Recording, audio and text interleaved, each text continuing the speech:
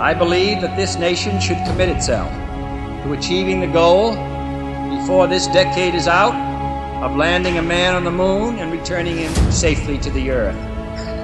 No single space project in this period will be more impressive to mankind or more important for the long range exploration of space, and none will be so difficult or expensive to accomplish.